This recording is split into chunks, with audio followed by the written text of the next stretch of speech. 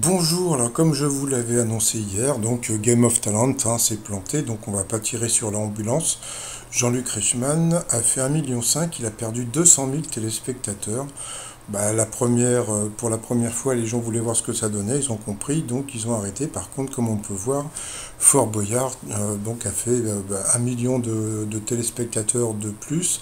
Alors je me suis posé la question à savoir, mais qui est le père Fouras? Donc le père Fouras, à la base, c'était ce monsieur qui s'appelle monsieur Michel Scourneau.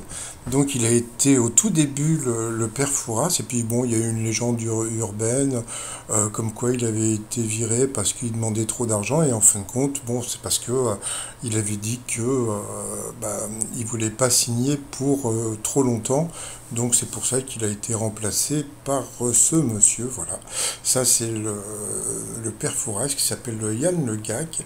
Yann Le Gac est un danseur, acteur et producteur de télé, né, né en 1954 dans le Morbihan, donc c'est un Breton.